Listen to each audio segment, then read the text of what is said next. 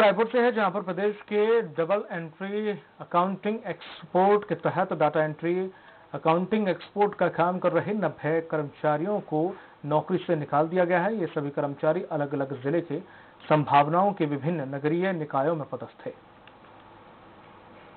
और पिछले विगत दो वर्षों से ट्रेनिंग भी दिया जा रहा था। अब हमें बताया गया कि ऑनलाइन में होगा तो आप लोगों की नियुक्ति फिर उसमें शिफ्ट कर दिया जाएगा। फिर अचानक हमको अप्रैल में लेटर मिलता है कि एक हफ़्ते के नोटिस के बाद कि आप लोगों को सारे 25 अप्रैल को, है ना? 25 अप्रैल को नोटिस आया कि आपको कार्य न होने के कारण आप सभी लोगों को हटा दिया जाता है।